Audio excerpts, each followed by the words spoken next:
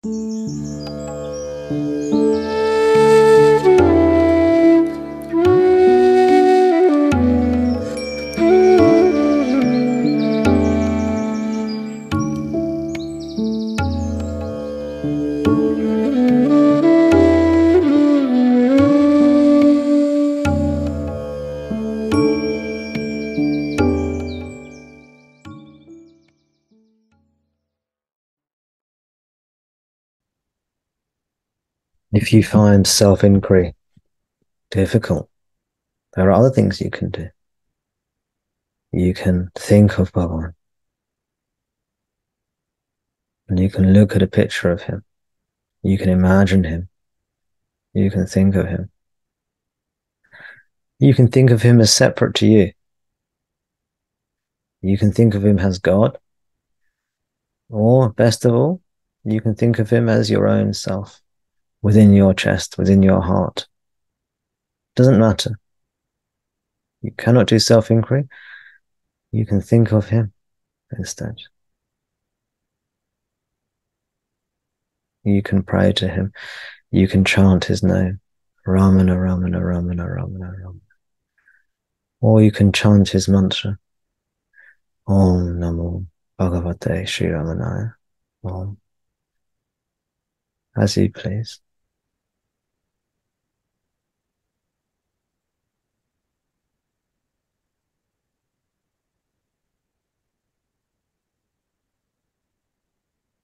If you feel agitated during your meditation, chanting is a fantastic way of dissipating that excess energy. You can do yoga asanas, the postures, the poses. You can read the scriptures, read the teachings.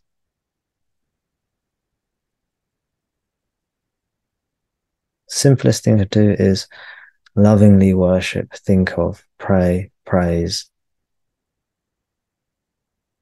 Bhagavan Ramana.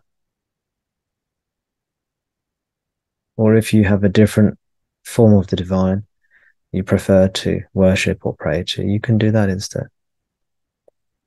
Even if you don't believe in this stuff, it, it still works. So give it a go.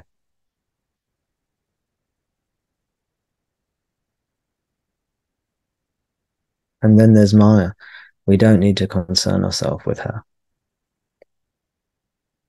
But one of her roles, sometimes, what Maya likes to do is she likes to she likes to be the center of attention. She likes to really back in. And apologies, by the way, for referring to Maya in the feminine and Bhagavan the self in the masculine. It's just what is it? Habit. It doesn't mean anything more than that. These things are beyond um, gender or sex or anything like that.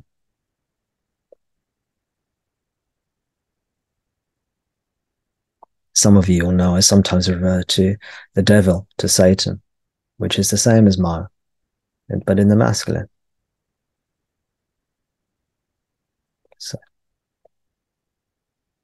the thing with Maya is that she tries to sometimes tempt you, bring you back to her, make you listen to her, think of her. Maya here is any of the objective phenomena that rise. And sometimes, just as your silence is getting very deep, your spiritual practice is progressing nicely, Maya starts to throw her toys out the pram. She starts to create noise. Look at me, look at me, she's saying. Don't neglect me. I want your attention. Don't give your attention to Bhagavan. Give it to me.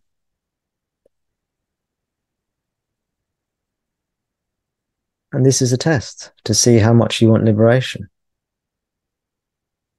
Do you really want liberation?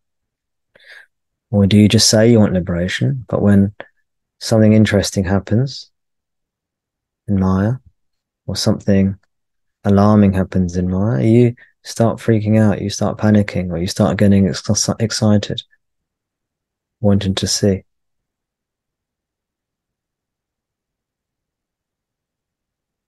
Your job is not to attend to Maya. Leave that to Ishvara, to God. Let Maya deal with Maya. Let God or Maya deal with Maya. Let Ishvara deal with Maya. Your job is to come home to yourself. Surrender Maya to God. You come back to yourself. Ishvara just means the God of Maya, by the way. Ishvara and Maya are actually the same.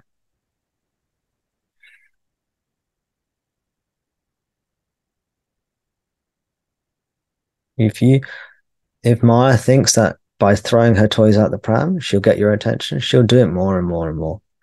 Once she realizes that it doesn't work, she starts to be quiet and your practice gets easier.